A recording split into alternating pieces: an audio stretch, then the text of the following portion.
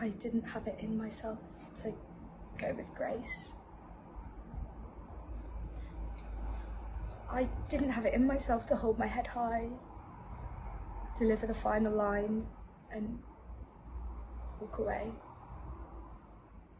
Hair blowing in the wind, credits rolling, women all over the country clapping proudly. One unified sisterhood. I didn't have it in me. Instead, I stood on the porch, staring at you, waiting for you to say something. Pathetically, waiting for you to say something. As if you deserved the chance to speak. As if you should write the end of the narrative. As if. I, I didn't have it in myself to be the bigger person. I, I did shout to start with, but the words were raspy and hollow. They blew away in the wind. And then I cried. Limp little teardrops dripping down my chin.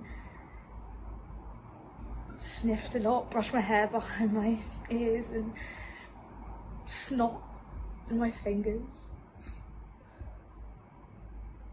I, I tried to hold it together, tried to regain control. Failed. I, I didn't have it in me to hold on. But I, I didn't have it in me to hold back or let go. I just stood there, shouted a bit, cried a bit, waited a bit. And that was it. That is not how it happens in films. It was the biggest anticlimax of cinematic history. And the worst thing is, is that I'm a huge advocate for women being heard, being human. And I just stood there. I just stood there. I, I didn't have it in me to explain. I, I had already given it all. Anything else would be meaningless. Blown away in the wind. Nothing I said would ever matter. Because, because you already knew it. You knew exactly how I would react, what I would think, what I would do. Because I've told you before. I've shown you.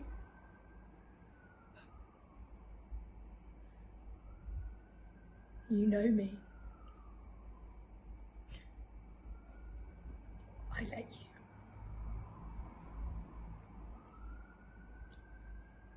Is that why you did it? Because you knew who I would react? Doesn't that make it so much worse? Even on my worst day, did I deserve that? Did I? Or did I do things that I never even realised, that, that I, I never even saw that, that caused you to do this? Were there secret flags? Did, did I wave them?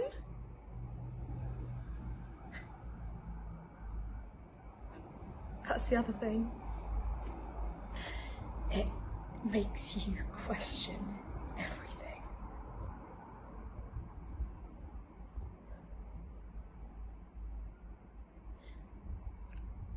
I didn't have it in myself to go with Grace.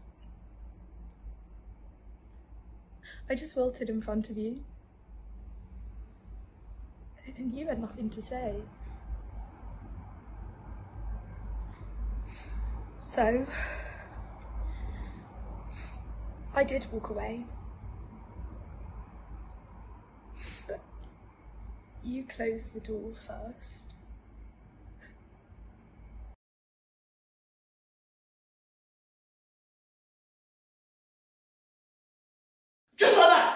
Yeah, he says it's just like that, and I, I say it can't be, and he says it is what it is. I say you can't say that, can he, Gav? He can't just just just just drop someone like that, can he? Can he? Can he? He can't, can he? Without even a week's grace. Gav, do you want to answer me, mate? Do, do you want to do you want to give me some support here? Because I'm I'm out here, right, breaking my back trying to make this work. Yeah, trying to make I don't know, mate, but you know, I, I would appreciate some support. How can they just fire someone just like that? Hey, Kev? I mean, you know the guy. You set me up there in the first place. Do, you think you could? Yeah, I, I just right. Don't don't look at me like that. Yeah, Gav. Look, I know, I know. You said you wouldn't get involved after after they, they agreed to take me on, but this is different. Yeah. Gav, they fired me for no reason. And there's more at stake now, mate, yeah? So much more at stake. For your brother. It's, it's different now, Gav. I, I, I've got Paige to think about, yeah? She, she looks up at me, Gav with this massive gap between her front teeth and, and, you know freckles smacked all over her face. And and she says daddy daddy does does the tooth fairy exist? And and i say of course she does sweetheart of course. And and she says she says daddy daddy does santa exist? And i say of course. And she skips away as if the whole world made sense and she's happy gav She's happy. Dumb and happy.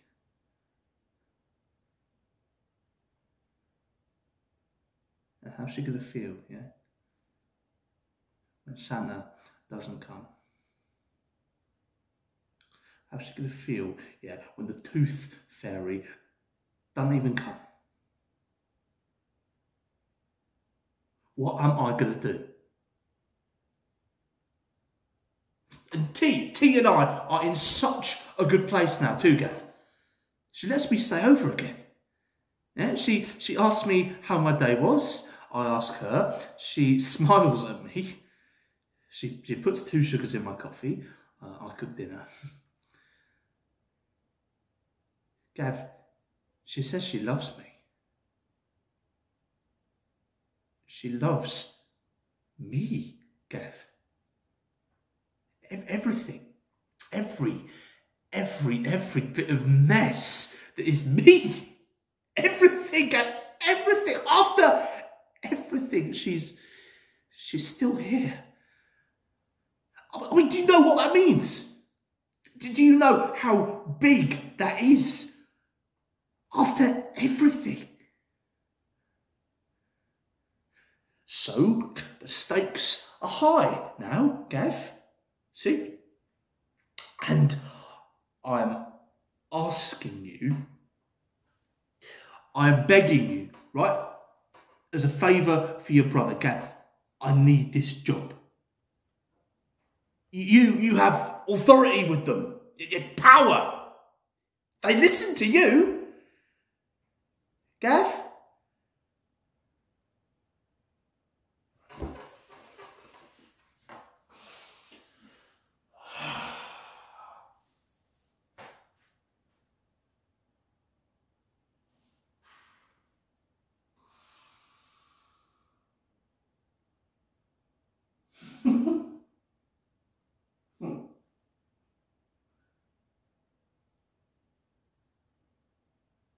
Remember when we were small, yeah?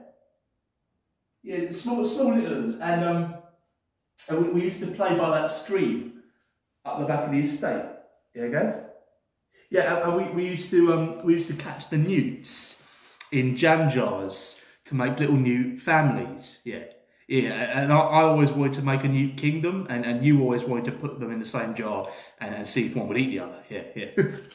and um, and this, this one time, right, you, you, pulled the leg off one of them. Yeah, it clean off. You, you, you pulled it off, and you, you held it up, and you shouted, "I am the new king, and this is my sword." and it, it, was all slimy and, and, green and dripping on it. And I, I was sick one night. Yeah, I was sick right there in the street. and that, that was the exact moment, right, where, where dad showed up, yeah, and told me that I should, I should get into that stream and scoop it out or go hungry because it was the only dinner we could afford.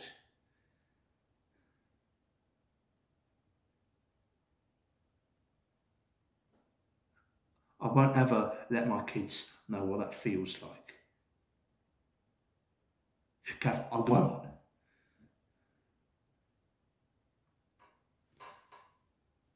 Not sure why you're not saying anything, Gav. When I, I need, I need you to do something here, mate. Because I really don't know. I, I know you've given me a lot of chances, but I really don't know what I'm going to do here if you don't help me out. If, if you don't do something here, mate. I can't get another job. Yeah. I've just got to make this one work out. Mate, Gav. Because if, if you don't, yeah, if you don't do something here, Gav, mate, and this, this is on you. You got me that job. You got me in this mess in the first place. Yeah? You're always so smart and, and sorted. And how do you think, how do you think that makes me feel? Eh? Look, I don't mean that. All right, Gav, it's not your fault. I know I've caused you a lot of trouble, but Gav, if you don't do something here, if you don't. Gav, T, right? Paige. Brother, I can't even put 50p under her pillow for the tooth fairy have the tooth fairy.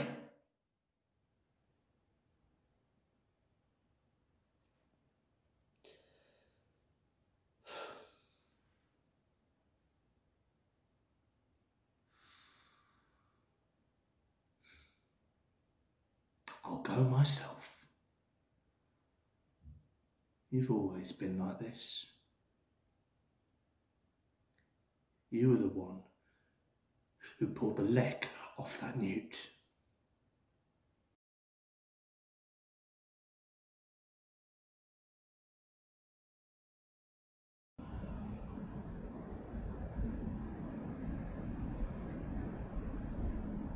It's strangely peaceful. Suppose it's only 9.15 and those who haven't been blessed with the good grace of hungry young children might actually still be in bed. But who would envy them, though? Warm bed sheets and brioches, or school runs and runny noses. There's no contest. It's actually really nice just to be out here. To watch the sunrise listen to the birds, wonder what they're singing about. I don't often get the chance to just sit and think.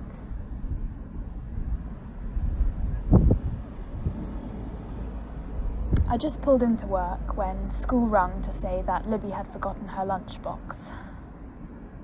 Shamefully, for a moment, I thought that the slightly off Babybel I'd sent her in with would suffice, but then I remembered She is my daughter and I love her, so I pulled away again. I rung work, apologised for missing the morning shift, and asked if anyone could cover for me. Angela could, thankfully, so I sped back home and picked up Libby's lunchbox.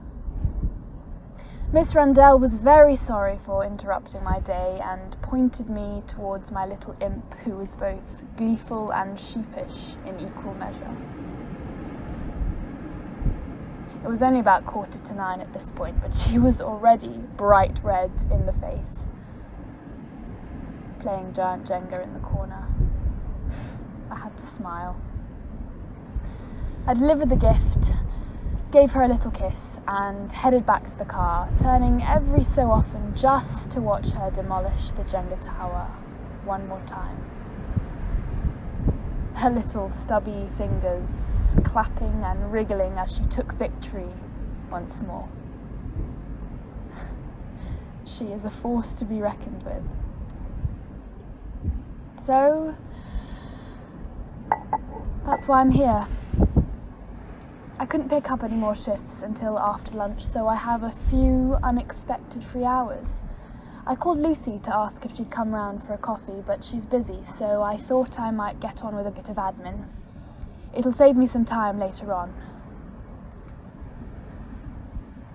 I just thought I'd take a quick breather. In the garden first, though. I do like being busy, and really, I have no choice. When you have three young children, the only choices you really have are theirs. And it's messy. Of course, it's messy. You forget, and they forget. And sometimes you all cry, and other times you overcook the pasta, or you forget a friend's birthday, or you can't find your shoes, or you promise your daughter a unicorn and then get her a Twix bar, or she sees you filling up the stocking, or whatever. And you find yourself missing a shift to deliver a left behind lunchbox, and then wonder how this will affect your weekly budget.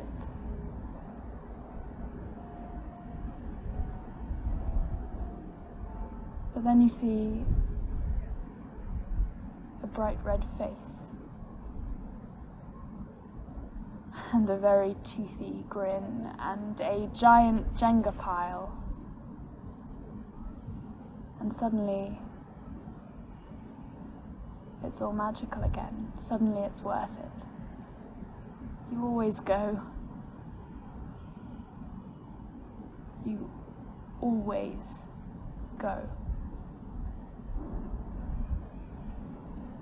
Speaking of going, I, I really had better get on. I have the thrill of sports day forms and tax returns to fill in. I know. Don't hold me back.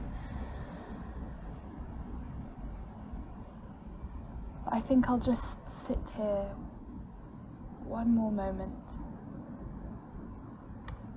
and breathe. It's funny. The air is always fresher in the morning. I don't know why. It's nice.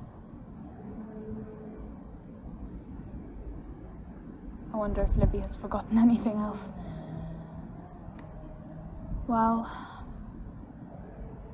I'll be here if she has.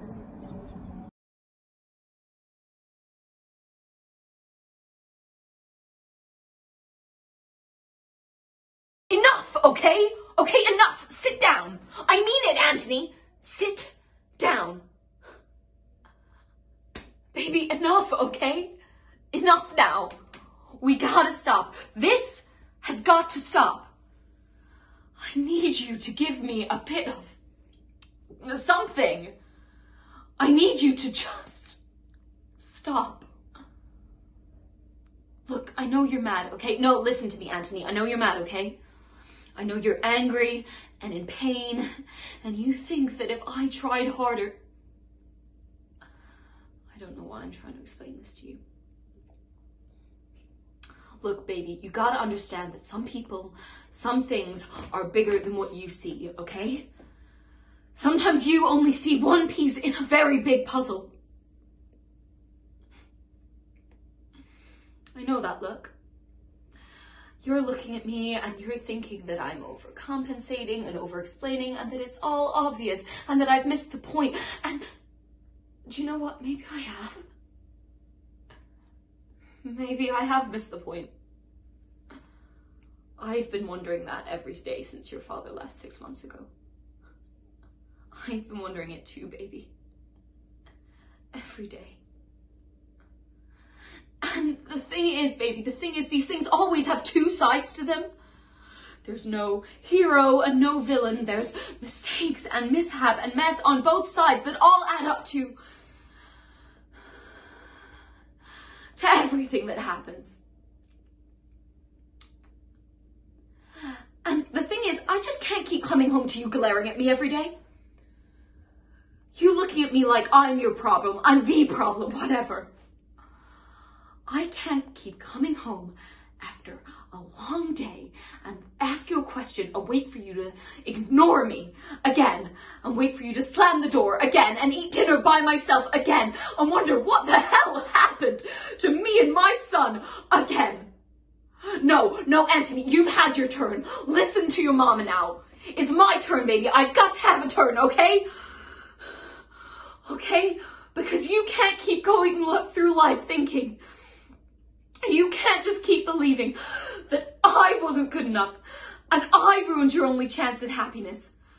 You're 14, Anthony. You can understand this. I know you can. Okay, baby, I know you can.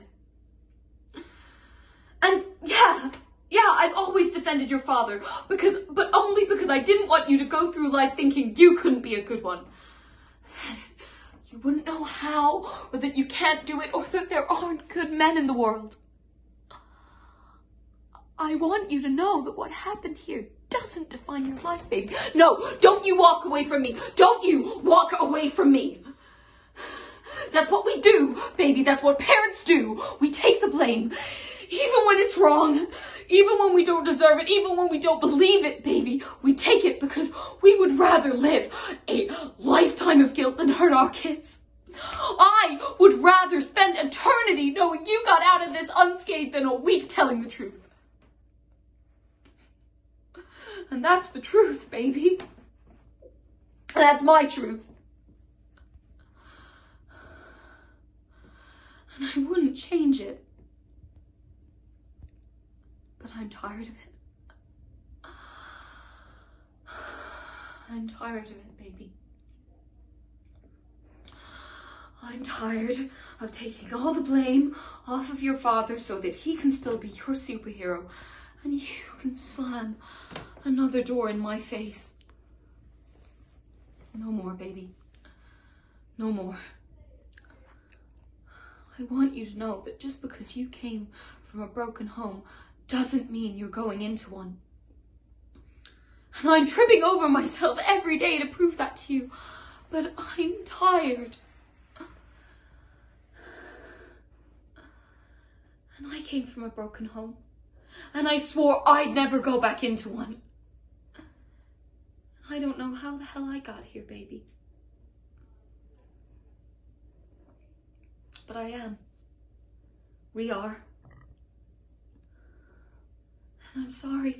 I'm so, so sorry.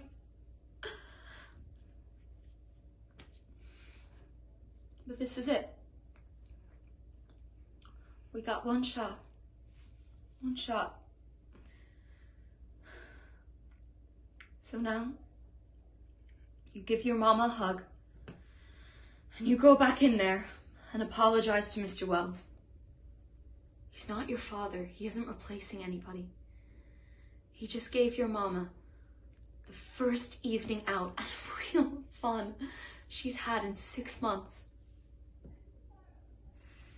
I need you to give me a bit of grace, baby. Just give me a chance. So go back in there and apologize to Mr. Wells. Just wanted to say hi. And then, in the morning, We'll start again.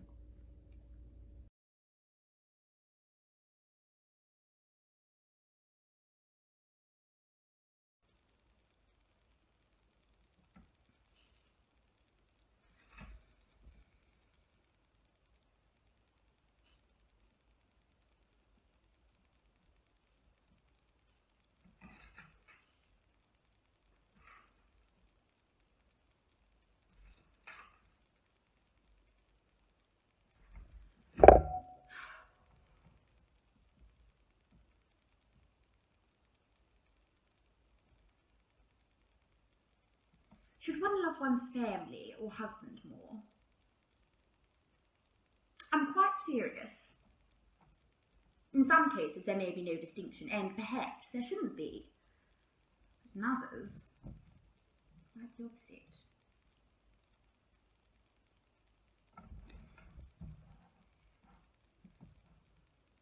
However, now that I ponder it, perhaps I've missed the point entirely. Perhaps the question is rather whether one should love their husband or his money more, or whether one's husband's worth his money, or is money worth him.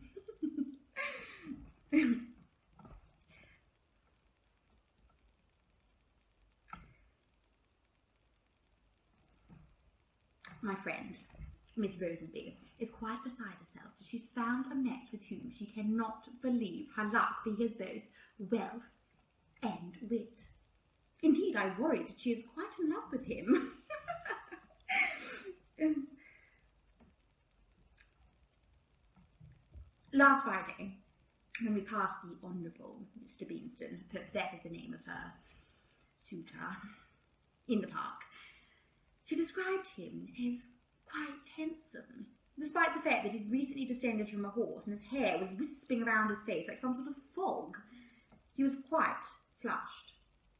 And yet Catherine was moved by his presence, so much so that she squeezed my hand tightly enough to draw blood. she looked at him as one might expect the early bird observe a sunrise, full of hope and endless opportunity. Love can be quite unfathomable at times. Of course, I must not forget to mention that one of the many attributes that makes Mr. Beanston so honourable This is his 10,000 a year. And there, my dear friend, succeeded where many of us cannot, where most only find one. She has found both. There are ways to be happy in all arrangements, however. Mamma is acquainted with the Fleets, a clergy family in the neighbouring village. Mr. and Mrs. Fleet met when they were merely 15 years old, before Mr. Fleet departed to learn his trade. However, they wrote to each other every day of their three-year separation and, despite lack of dowry, breeding, and no promise of wealth, were married on Mrs. Fleet's 18th birthday. Seven children later, Mamma assures me their pockets are empty. They make a very fine goose and vegetable stew on Christmas Day and are blissfully happy. Then there's my cousin, Lady Cecilia Locket. She married one of the most well-known men in Hertfordshire, a Lord William Locket.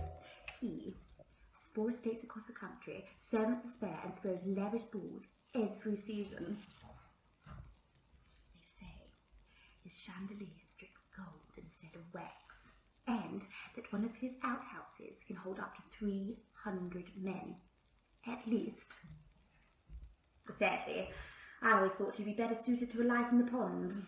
He seems incapable of making any shape with his lips apart from a wide and deep oh, flex around most alarmingly at the mention of company and struggles greatly with his blood pressure after any excursion. And Cecilia always seems to be tutting at him, scolding at him, muttering to me that it'd be quite agreeable if his blood pressure might spike for once. However, she sparkles on the dance floor and entertains with an outstanding wit and never-ending charm that could last the very next dawn. No man in Hertfordshire stands a chance against her at the cards table. They troop away like wounded soldiers at the end of every game and flock back like a herd of sheep when she next desires to call them. She visits whom she pleases and travels everywhere by coach. and tells me that the villagers gorb as she rides past, which makes her blissfully happy.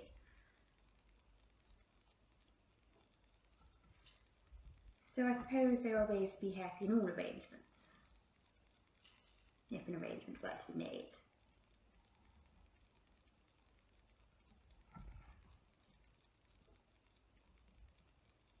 I've recently been made a proposal of marriage by a Mr. James Thomas.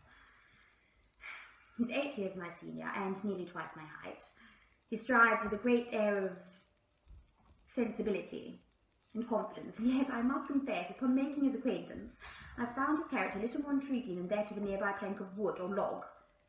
Perhaps. He says everything he thinks, which is nothing at all, and reads talks at great length about things he's never read about or upon which he's never learnt. He never asks questions, and if he does, he requires a clipped, consolatory response before returning to his barrage. There is nothing mysterious about him. There is nothing about him, which is quite the problem. Although, to say there is nothing is quite naive. There is 7,000 a year, which cannot be dismissed. I refused his proposal. I could not give myself to a man who I knew I had nothing in common and who I was quite certain I could never make happy, just as I'm quite convinced he could never satisfy me. Although Mamma was so distressed, she spent the last three days in bed. When my father dies, the state won't go to any of his children, all of us daughters so we're called upon to fend for ourselves by finding a husband of great wealth at any cost. How sad it seems to me that we must lean on strange men to provide for us and protect us in a world that apparently does neither. But Mamma is convinced that Mr. Thomas is paramount to the future of the family, and I mustn't, no, cannot, wait any longer to find a man with whom as both humour and wealth. I've already rejected two proposals in the past. And I suppose, now that I contemplate it, I fear she may be right. I cannot consign myself to a miserable marriage with a man who has no qualities I desire. I cannot do it. It, it so instead so utterly ludicrous that I may make my own choice. Or find something else to do with my time. Is it so insensible a thought? For Mamma it is.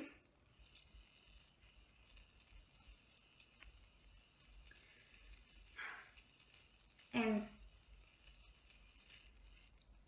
now that I contemplate it, I know I must marry. For Mamma, my sisters, my family.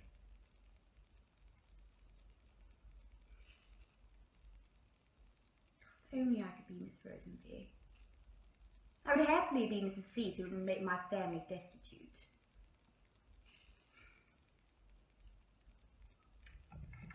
Seems the life of my cousin is the one into which I am called.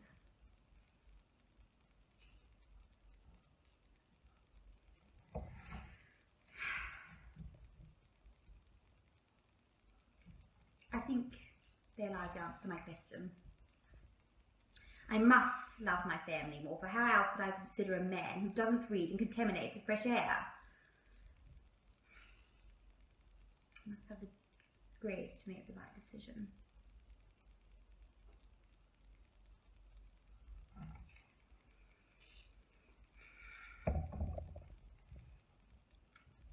I suppose a horse and carriage would satisfy me after all.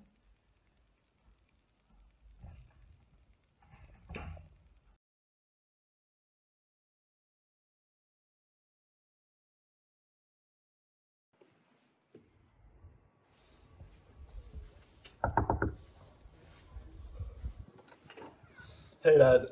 I, I know you don't want to see me. Uh, wait, wait, could, could, could you please just, not, not close the door? Just, just for a sec. This won't take long, uh, I promise.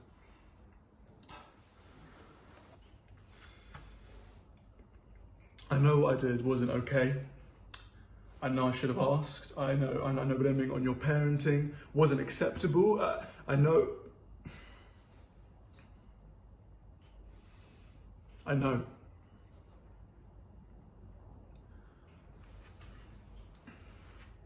It wasn't. It wasn't just for attention, Dad.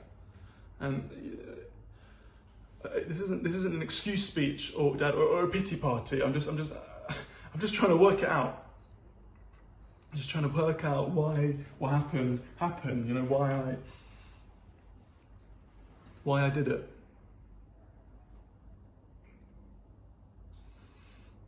And I know, uh, I know, I know I should know, but but I don't.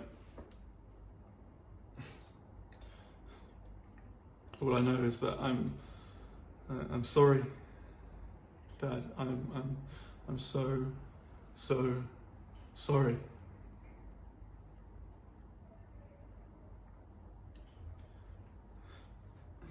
And I get you don't reply to my text. and I know an apology an apology doesn't solve anything. I know that I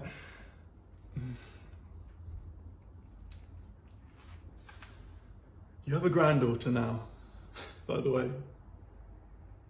Uh, yeah, yeah, Felicity. It means it means luck. You can meet her if you like. She's just in the park around the corner. Or supervised, obviously. Yeah, she, she's a daft little twigger, just like you used to call me. I found her the other day bathing our hamster in coffee beans. yeah, poor little thing was completely caffeinated by the end of it. but but she, she's also the cutest thing I've ever seen. I'm biased though, right?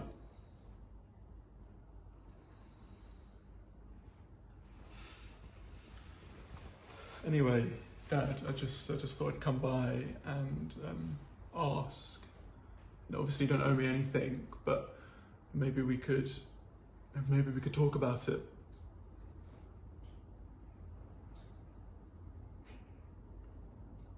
Yeah, yeah, ano- another time.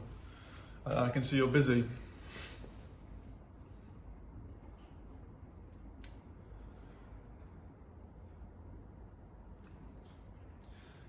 Do you love me, Dad? It's just that, you know, I know I'd forgive Felicity anything, mm-hmm. you know, murder, God. So, you know, I just always thought there was this unconditional, you know, rule of parenting about, you know, love or, or grace or whatever. But you know, maybe, maybe I don't know. Maybe what I did is just so. Never mind. Yeah, maybe, next time.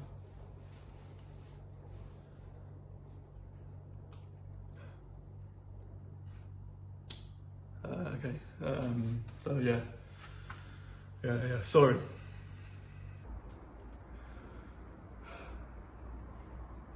Can I come in?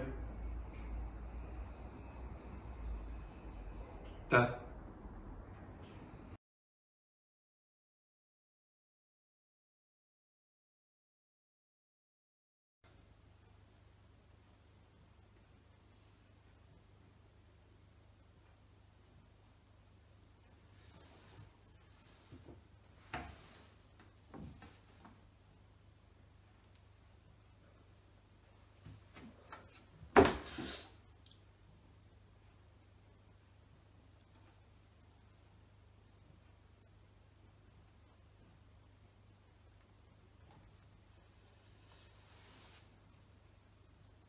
You know when you have one of those days where you think, in the words of that Love Island girl, come near me and I'll rip you in half. Yeah, well, that's me today. And now that I come to think of it, every day for the past 16 years. And just when I think it can't get any worse, Aunt Meg comes in. dear Aunt Meg. Always so eager to please Aunt Meg. Always full of such wonderful ideas to widen my horizons and expand my skill set, Aunt Meg. Ready whenever you are, Aunt Meg. And asks if I'm ready to go to a party. And let me tell you, I'm about as inclined to go to a party as I am to watch Aunt Meg try and explain to one of her acquaintances again that she is single by choice. Now, you may be thinking, it's, it's just a party. What could possibly be so bad? You'll be with your friends, have a nice time, uh, eat some soggy wotsits out of a wooden bowl, avoid questionable stains on the floor, awkwardly dance some rap music you've never heard of before. Yeah! Well, it's not that kind of party. In fact, I'm not even going to the party. I'm working at the party. Doing what? I hear you ask, I hear you wonder. Well, doing.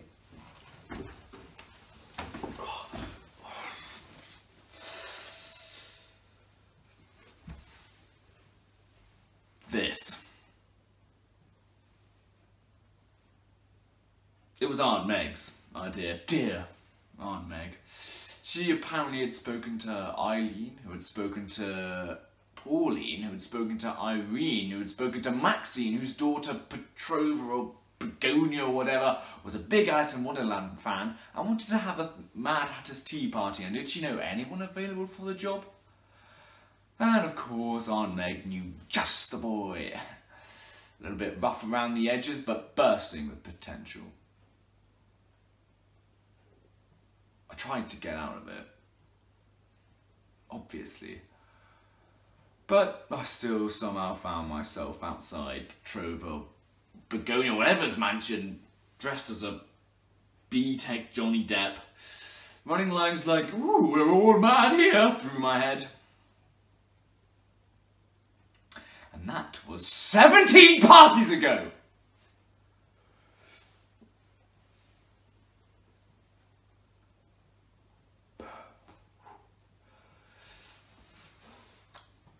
There's a market for tea park parties amongst the elite Waitrose shoppers and sourdough eaters of Aunt Meg's, Mum's, and Dad's group.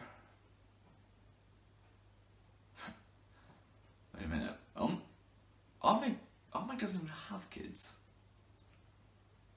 Uh, anyway, so when she came in this morning, I actually think I died a little inside. But she talks so much, I don't think she even noticed. I said, Oh, oh, oh, oh, oh, oh, I have the, I have the flu. And she said, You said that last time, dear. Uh, and I said, Oh, oh, oh, oh, oh. It's, uh, it's a severe case. And she said, Yes, yes, you said that last time too, dear. And I said, Oh.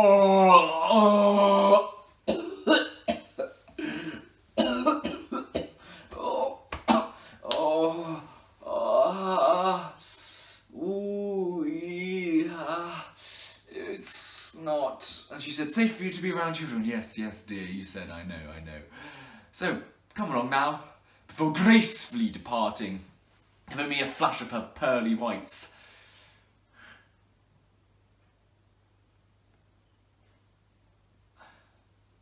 I'm not a kids person. I think I've come to the conclusion, quite reasonably, that all kids are ultimately leeches. They suck the blood out of all life, of all joy, and of all hope.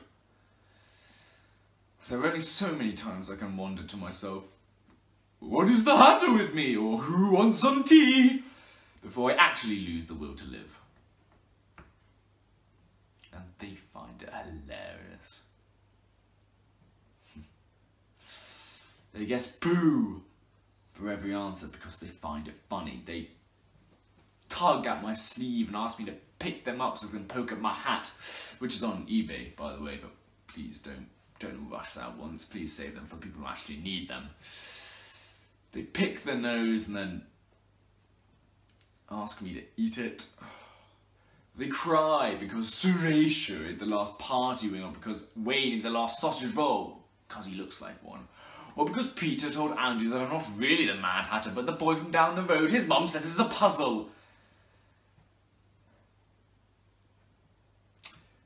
And the worst, worst, worst part is when they asked me to play hide and seek with them. In this one house, I actually hid under the sink for 23 minutes. I know because I timed it. One time, I had to escort a kid to A&E. Lilac. She had gotten a, a button up her nose, uh, which she'd ripped off my jacket, I'd like to add, and then got stuck there. So the host family thought I should go with her to A&E because it was my equipment, not theirs, technically. So there I was in the A&E waiting room with Lilac at 4pm on a Wednesday, wondering whether I'd be arrested for neglect if I just left. But her grandparents arrived. Uh, her parents both have very intense work schedules, you see. And so when her grandparents arrived, they gave her a big, big old hug. Uh, hugged her so tightly, I actually thought the butter might just pop out due to the pressure. It didn't, though, sadly. So we just sat there in silence for three hours. Three whole hours. And let me tell you, three hours in A&E with a buttoned-up four-year-old, her claustrophobic grandparents dressed as the Mad Hatter, surrounded by the local addicts, is enough to kill any hope you had for the world. So, anyway, there I was, outside Mr. and Mrs. Peach's house.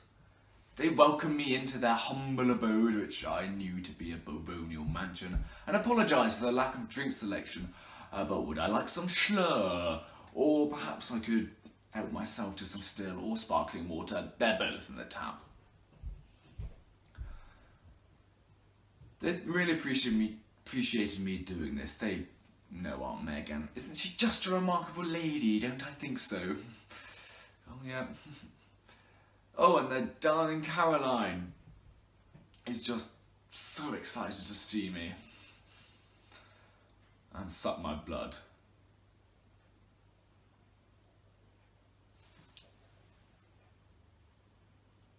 I should thank Aunt Meg, dear Aunt Meg, really.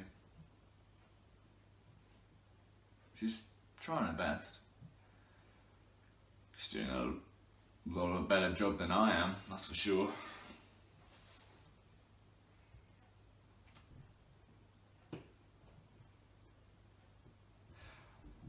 I always try and end with a story. You know, like in the film when jo- uh, Johnny Depp asks Alice to believe six impossible things so she can kill the Jabberwocky. Oh, that's embarrassing that I know that. Uh, anyway, when I ask for an impossible thing, they all yell poo because they think it's funny.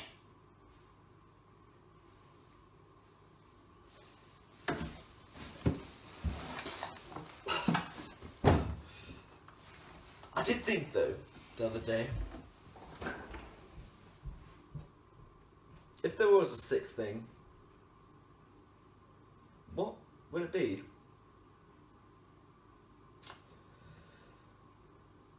And the sixth impossible thing was still poo.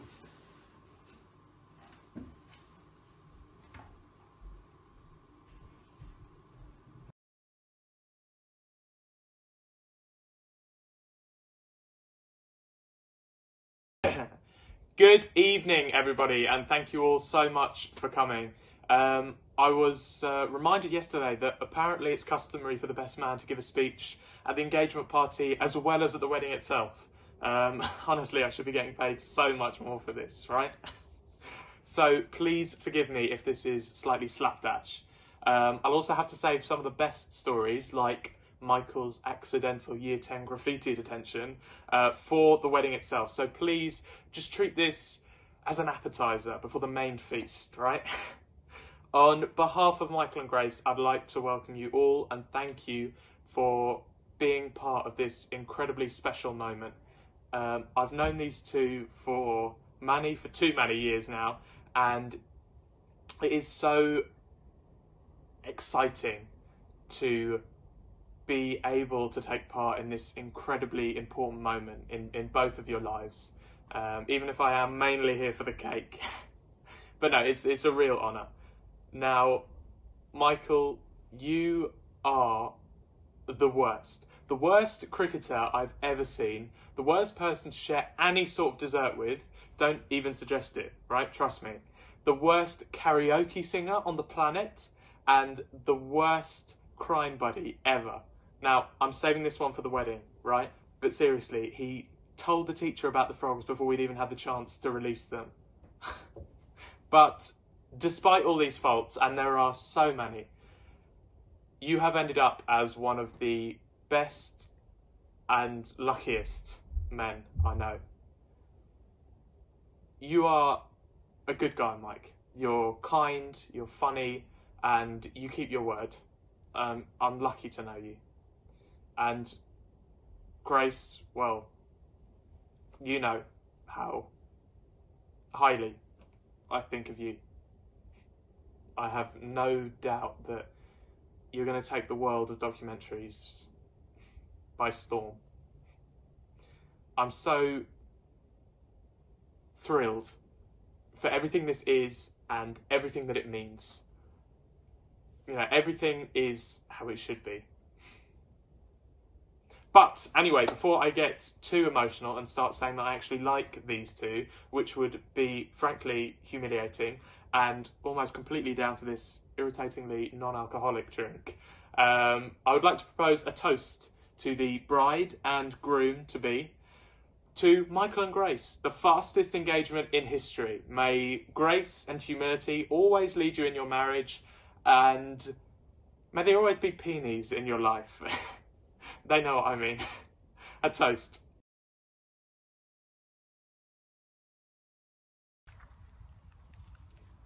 I can't believe it.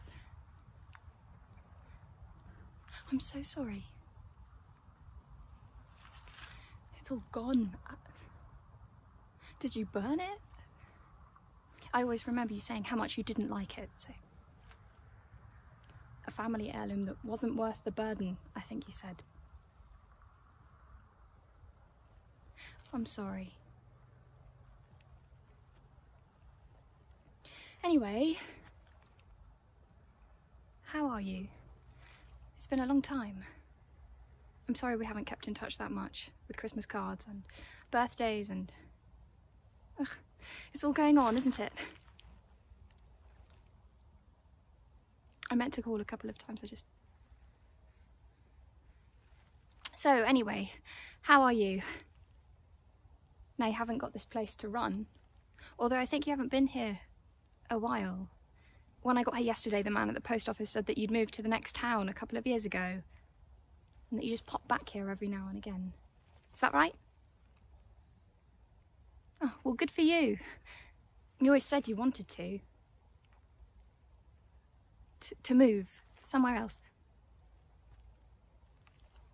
Anyway, I just came. I I wanted to see you and and I just wanted to see how how you were doing and how everything was and and say how sorry I was to hear about the farm. I just I, I wanted I decided it was time.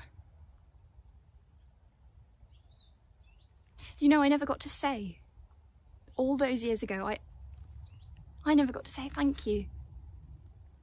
I know it probably doesn't mean anything now, and I know so much time has passed, but but it's just always bugged me that I didn't get to say thank you.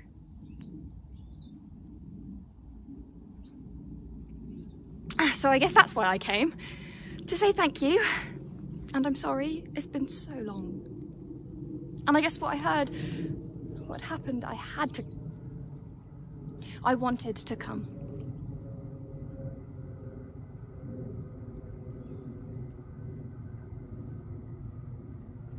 You were really kind. To us. I wanted you to know you. You were so gracious about the whole thing. And we didn't handle it well at all. I know that. We got it so wrong. I mean, obviously, I wasn't with him at all when we were together, but. But we should have given you more notice, more time. Something. No, no, I do have to say. I'm so sorry. I just wanted to say it just once. I just felt so awkward.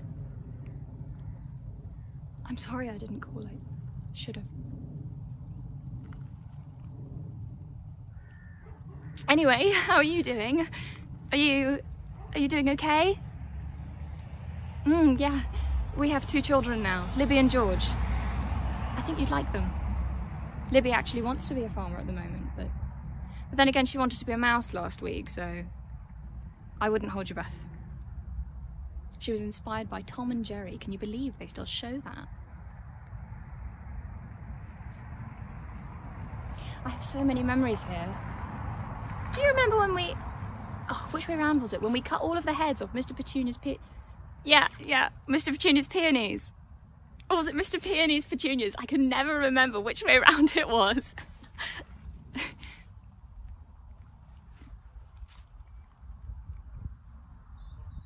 well, anyway, I should probably get going. I'm so glad I've seen you. I hope you're okay.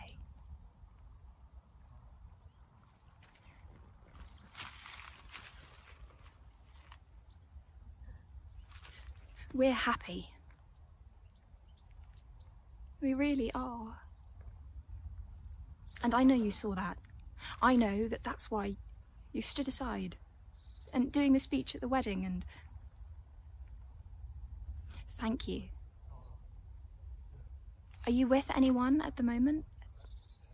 Oh, well, you know, who knows what could happen, right? Look, I'm sorry if it's awkward. I I know it's been so long and you probably don't even think about it anymore, but I just felt that I never got a chance to say thank you. Well, if you're ever in the neighbourhood, I. I don't know if it's weird, but we'd love to see you. Libby would be over the moon.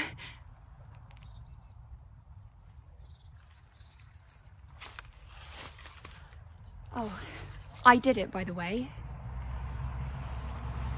I wanted to tell you, I, I did go into documentaries. I know I was always going on about how I was going to do it and I was going to get there, blah, blah, blah. So I just wanted to, to tell you. And every day is different. I love it. I generally produce, but I actually directed my first one last year on BBC Two, which was really... Oh, you, you saw it. Wow, thank you. I, I didn't think I hope you liked it.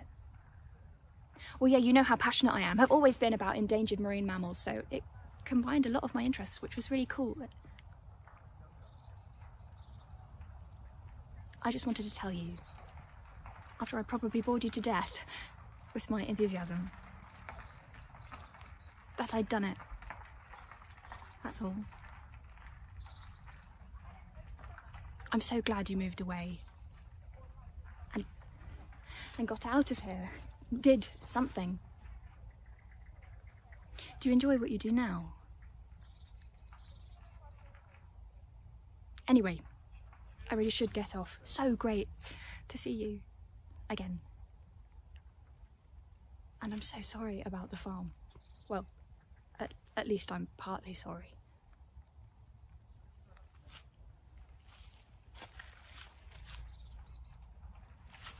Are you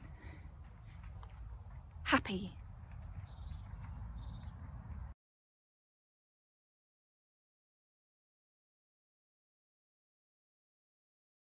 You want to know what happened? I'll tell you. He stood there like a heaving tank of muscle and mud and monster. He had a bloody nose, grime in his ears. I remember his top lip was beaded with sweat. It quivered like a lost child.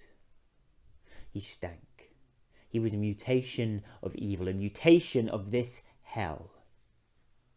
He killed one of our men in cold blood. There were eight of us sent on this mission, eight of us sent to the nearest airfield to replenish supplies. We needed more firepower, bullets, ammunition. It was a simple mission. We just had to make it across a few fields. The enemy was nestled in a bush, keeping watch. Sun was low. The air smelt of dust and discontentment. It was a land for no man. I remember that rustle in the leaves startled us to attention. Shouts, rifles, positions, quick as a flash, so natural. But the enemy got there first. He fired around, hitting Will, hitting Private Thomas right between his ribs before we could disarm him.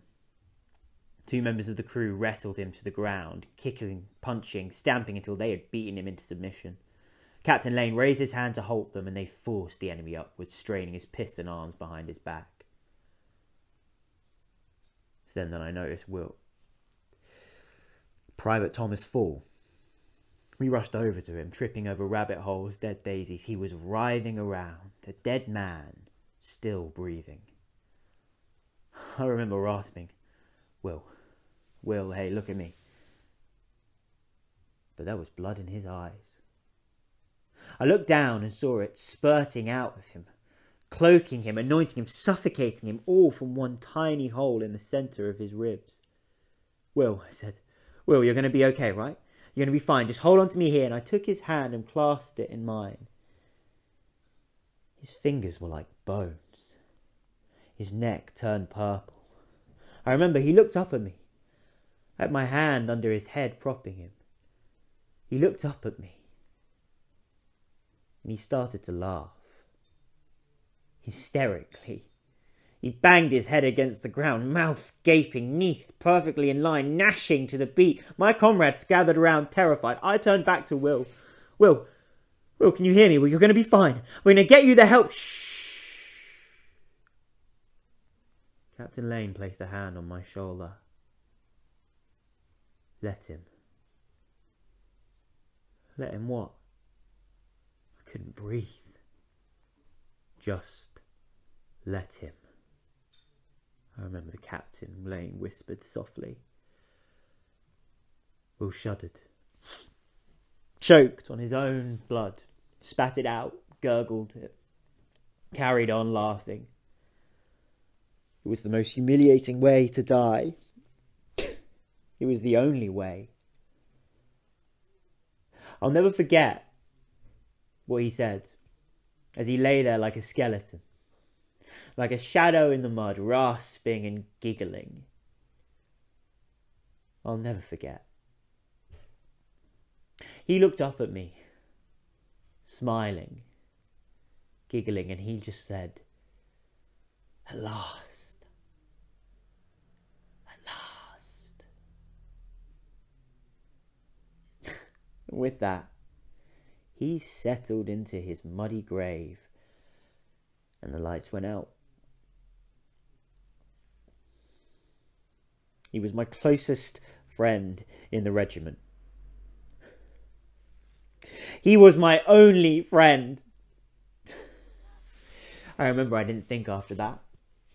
I had no thoughts. I just jumped up and raised my rifle, pointing it at the enemy's head and screaming at him. There was nothing dignified about my response. There was nothing dignified about his death, but the enemy surrendered.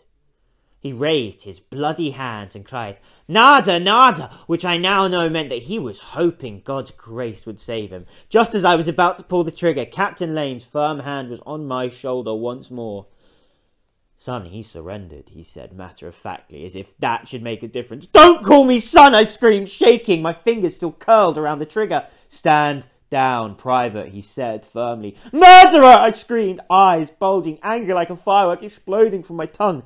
We're all murderers and war, son, he said. But, sir, I cried, stand down, he ordered. But, sir, I screamed, stand down, private, now. My fingers started to tremble at the trigger. I let the rifle roll out of my hand and it clunked to the floor, heavy with metal and grief. Release the prisoner, Captain Lane ordered, unflinching. I watched as my comrades untied it. They looked at me bewildered and horrified. I remember sputtering, You're not going to let him go. Sir, wait, sir, I mean, you can't, you're not going to, sir, please, wait. Without looking at me, Captain Lane walked over to the enemy and whispered in its ear. It turned around and started to walk briskly away from us. A massive hulk of skin and death and power. I hated it. I still hate it. I couldn't believe that the captain could show it mercy so easily, that he could let the enemy go, and for what? The war won't remember his name. Nor Will's, nor mine. We'll just be bodies in a pit of bodies, and I'm sure of that. I watched the enemy skulk off and turned to see the captain kneel by Will's side and gently close his eyes. He prayed, kissed Will's forehead, and rose again. Every time one of his men dies, his steps grow heavier. He told us to pack up and get moving. I looked down at Will's face, and then at the captain's, at the most gracious man I have ever met. I remember what my wife whispered in my ear before we left.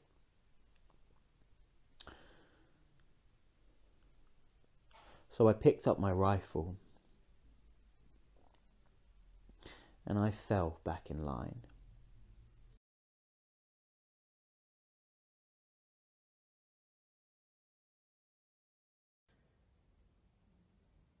In the end, the wingspan of grace is not very wide. It's the space between your tiny waggling fingers. It's the distance between your eyes. I'm looking down at you, my boy, my son, and I'm wondering what on earth we've done. What will you do? Where will you go? Will you take me with you? Or will I watch you grow and leave and never come back? Will I take communion at your wedding or your funeral? Will you one day whisper in my ear, You did a good job, Dad? Or will I watch you from a distance, mouthing silently with no reply? How will I know when it's time?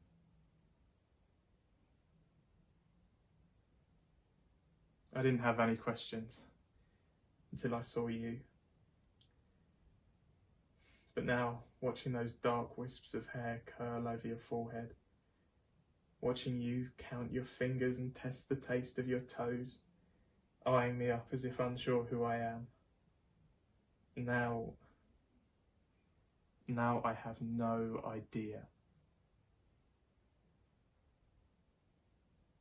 You are so beautiful.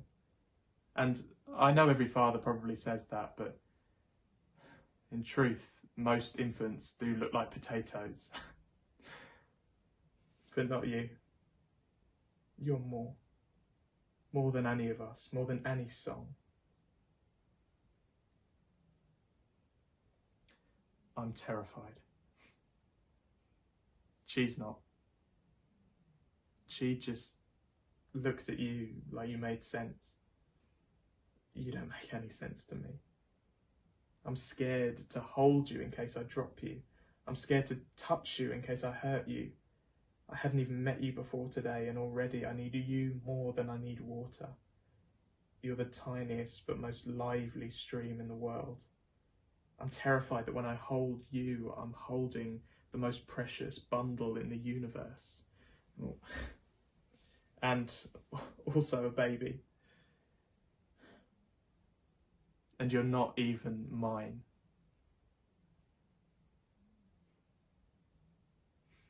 I didn't think I could do it. I didn't think I could. But your chocolate eyes match the stars, and your little tongue is pink as the flowers in the meadow. I could never not have seen you. I could never not have done it. I could never not have known your name. In the beginning, I really thought I couldn't. But we all make the impossible possible, don't we? We all run further than we planned. We all end up in the middle of nowhere, sweating and flustered, wondering what on earth has happened and hoping heaven has a plan. You, you are heaven's plan. A little piece of stardust with the power of a meteor an undiscovered galaxy with the power to change the constellations. The breath of a wave and the strongest tide. And I have the privilege of watching you wash the world from the inside out. So, what will you do? Where will you go? Will you take me with you? In the end, the wingspan of grace is not very wide. It's the wingspan of woman, of man, of child. The space between two scarred hands. Not very wide, and wider than infinity, all at the same time. It is a voice that makes a choice. To give and live beyond its means. And even when it seems nothing is fair, Grace will always dare. It's the first raindrop to fall from the ice. It's choosing to give the biggest slice of cake away. And spend the day slightly hungrier than you might have been. It is It's letting, letting someone, someone else be seen. Like a mother's endless care. Grace will always dare. It's the last petal of a dying poppy field. balancing on the stem, refusing to yield. It's a glimpse of the whale's tail. The egg, the speckled quail. The first robin of the season. And the very reason We keep breathing into the cold, cold air. Grace, always there. In a time when the world is broken, Never underestimate that every word spoken has power. Has a place. Has a name. Has a face. They have magic in their bones. And secret, personal loans only they know they've taken out. It's the piercing blue eye at the heart of a stare. Grace will always dare. Every choice matters. Every voice. Every voice. Every voice. Every voice. every voice every voice matters. In the end, the wingspan of grace is not very wide. It's written on your tongue. It's in your eyes.